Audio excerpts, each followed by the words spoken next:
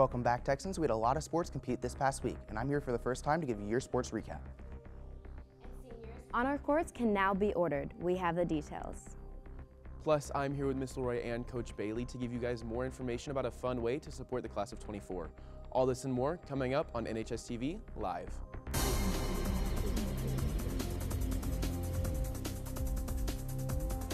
Good morning, Texans, and welcome back from spring break. Many sports have played over this last week, and sports reporter Jack Dunning is here to catch us up on everything we missed. Jack? Good morning, Texans. We have a lot to cover from spring, over spring break. So let's get right into this morning's sports report. Starting off, we had our boys golf play yesterday at Iron Horse Golf Course with Connor Lockwood shooting the best score of 88.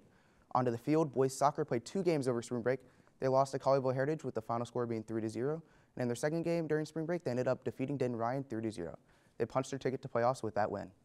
They play their first playoff game on Thursday against the Wichita Fall, Fall Coyotes at Mineral Wells Stadium. Moving on to girls soccer, they played Colleyville Heritage, but unfortunately lost 0 to 3. They also played in a game against Denton Ryan and ended up losing 0 to 4. Congrats on a great season, girls. Moving on to the Diamond, boys, boys varsity baseball plays today against Grapevine at 7:30 at home. Softball played in three games over spring break. The first game was against Birdville for their senior night, and they crushed it 7 to 0. Softball also played Grapevine twice, winning their first game 10 to 0, as well as winning their second game 9 to 2. Softball plays again tonight away at Lake Dallas. That's all I have for sports today.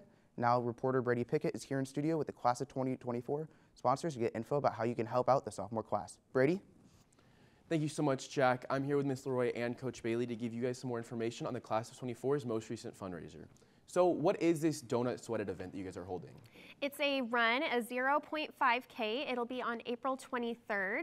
And it is just a really fun way to get out and uh, represent the class of 2024. You can um, pay faculty and students for $25 to participate, or community members can participate for $35. Okay, perfect. So in that $25, what all is included? Well, they're going to get a really super cute t-shirt, first of all, and then we'll have a finisher's medal. Um, and then at the halfway point, we'll have donut holes for them to have as well. Gotcha. So is what what is the relation to the donuts and why we're calling it the donut sweat it run? So it's because you're not going to sweat. It's only a 0.5k. It's basically a walk halfway around the block, um, and so that's kind of where we got the name and why we're including donuts in it. Perfect. And so what's the benefit that's going to be supporting class of 24 here? Um, so it's going to go towards the class of 2024 prom, so that hopefully in two years we'll be able to have the best prom this school's ever seen. Perfect. So is there anything else you guys would like to add? Um, I mean, this is a great event for you guys to bring your siblings and all your family to because anybody can do it. And we're hoping at the end to have some food trucks or vendors so that you guys maybe will be able to grab a bite to eat at the end. Perfect. Sounds good. Well, thank you both so much for being here this morning and giving us more information on how to support Class of 24. Texans, we hope to see all of you out there in support of our Class of 24. Back to you, anchors. Thanks, Brady. Now, seniors, you can purchase your honor cords online now until May 6th. Cost per cord is $10. Please allow for two to three business days for your order to process. You will go to the East office to pick up your order.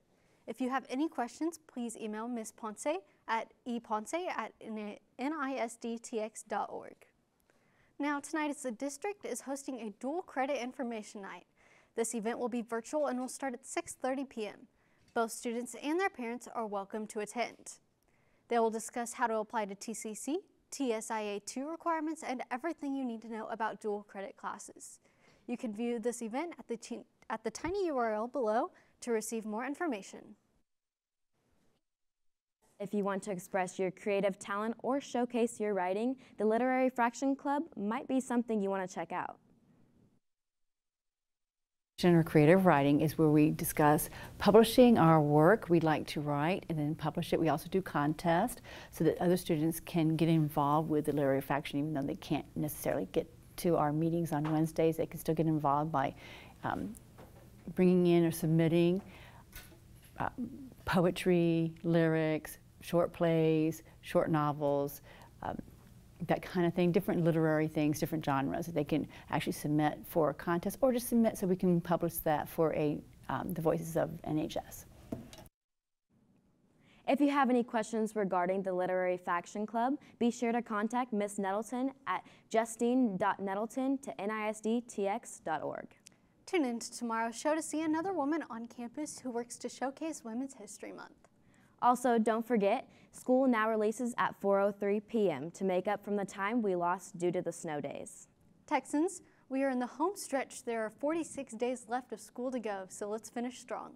And on that note, have a great first day back, Texans. This has been NHS TV Live.